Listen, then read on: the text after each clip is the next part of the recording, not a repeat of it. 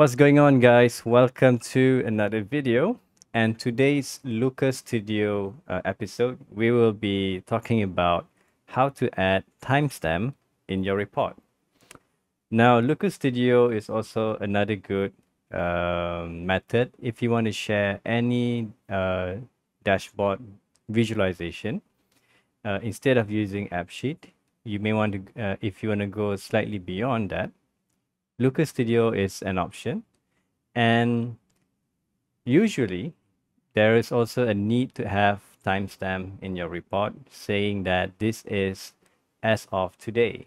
So this episode will cover on how to actually do that in a, just a few simple steps. So without further ado let's check it out.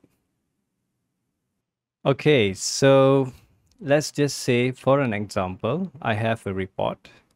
So this is my report and I want to add a timestamp here to indicate the freshness of my data displayed in the dashboard. So the first thing to do is to add a chart. And here you find a variety of charts that you can add within Looker Studio. And I want to use the first one, which is table. And I'll just add it here. Then you will start to see the uh, sort of fields that you can uh, select to display in the table. I'm going to create a custom one, which is by adding dimension here and click on add calculated fields. So when I click here, I will have to give a name. So say for example, uh, current time stamp. Okay. And the formula that I'm using is current underscore date time 08. So this is basically the formula the plus 08 represents the time zone. So I'm living in Malaysia, very near to Singapore and the likes of it. Therefore, our time zone is plus 08. So you can change this number according to your own time zone or relevant time zone. And once you are done, click on apply. And let's just remove other irrelevant uh, columns here. And I can just remove the record count. And of course uh, we can do the necessary settings such as um, in style.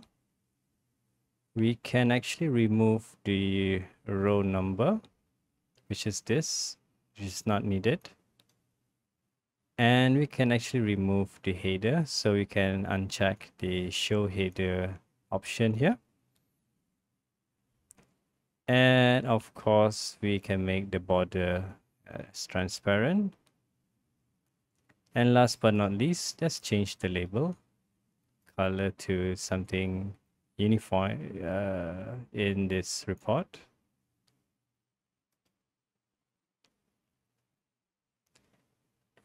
And let's resize the table border here and that should be it. So then you have the name of the report as at that specific time and date. So this could actually give um, a different perspective or aesthetics to your report to indicate the freshness of your report to your audience. And of course before i forget every time when you uh, refresh the data here, so if I click refresh data, it will then take the latest date and time to your report.